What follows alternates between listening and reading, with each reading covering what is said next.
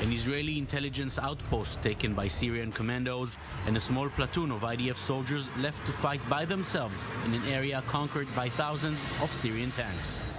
These are the two main stories in the successful television series called Shat Neila in Hebrew, dubbed as Valley of Tears in English, currently airing on Israel's public channel and already sold abroad to HBO Max, where it premiered last week.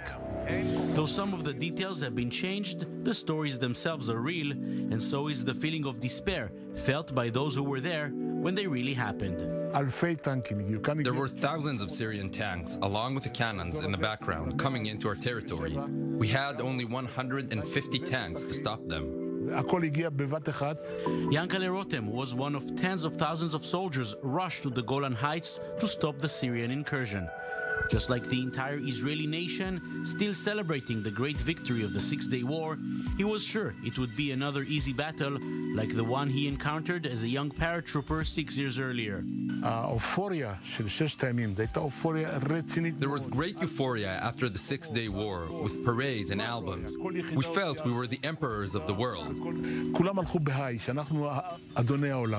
As soon as they arrived at the battlefield, they realized this time it would be different. In 1967, they ran forward and no one seemed to stop them. But in 1973, every move was a life threatening struggle for Yankale and his fellow soldiers. Their artillery was constantly firing at us.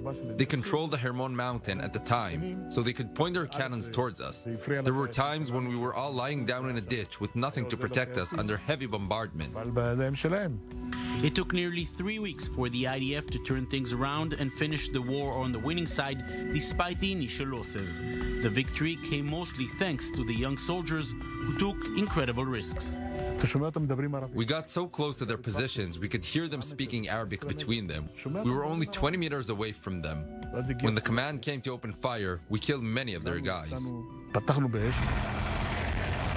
As the war ended, the Israeli society slowly, gradually returned to normal, even in the communities on the Golan Heights close to the Syrian border.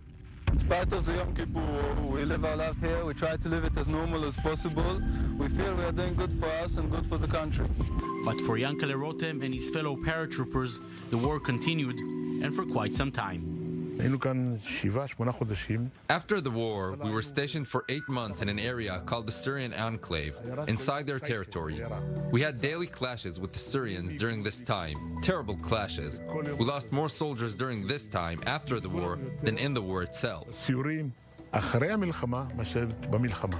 47 years have gone by, the world has changed, the wars have changed. But one thing has not changed. This is still a border of war. Peace is still a distant dream, the same as it was back in 1973. Jonathan Regev, I-24 News.